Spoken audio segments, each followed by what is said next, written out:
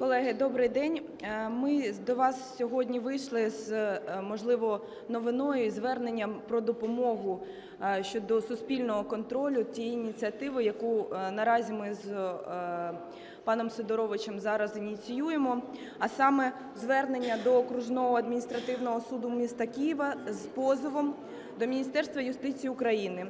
І в даному позові ми вимагаємо, щоб Міністерство юстиції України нарешті розібралося з ситуацією, чому на сьогоднішній день політична партія пана Пушиліна, скорочено МММ або ми маємо мету. До сьогоднішнього дня є зареєстрованою політичною партією України, і ця політична партія має право йти на вибори на сьогоднішній день по місцевим округах. На превеликий жаль, Міністерством юстиції України досі не було здійснено жодних дій щодо перевірки е, недержавницької діяльності даної партії та її керівника. У зв'язку з чим народні депутати будуть змушені звертатися з відповідним позовом до суду.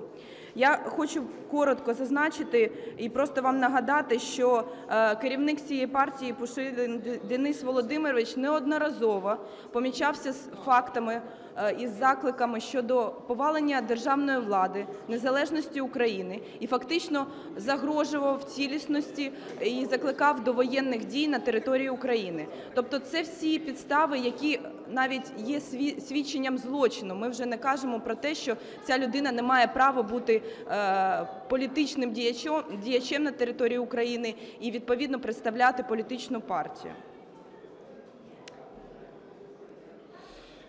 Е, Шановні друзі, інституційна неспроможність наших е, органів влади, нашої виконавчої влади інколи переходить вже усі мислимі і немислимі межі.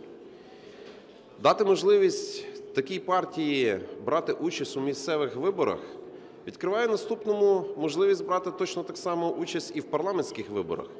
І післязавтра тут, у парламентських стінах, у сесійній залі будуть засідати представники бойовиків.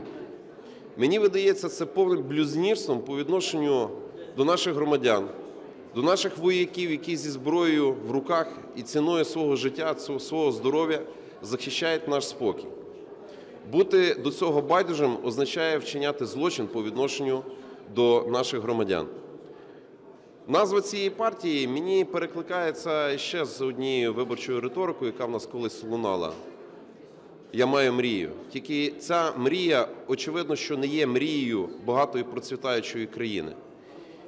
Шановні друзі, цей позов, на нашу думку, повинен бути розглянутий в найкоротші строки, і ми очікуємо, що найближчим часом надзвичайно оперативно, але якісно буде винесено судове рішення, яке заборонить діяльність цієї партії і таким чином не дасть можливість Пушиліну і його бойовим е, товаришам брати участь у місцевих виборах і, так би мовити, начебто представляти інтереси громадян, а насправді працювати на розвал нашої країни.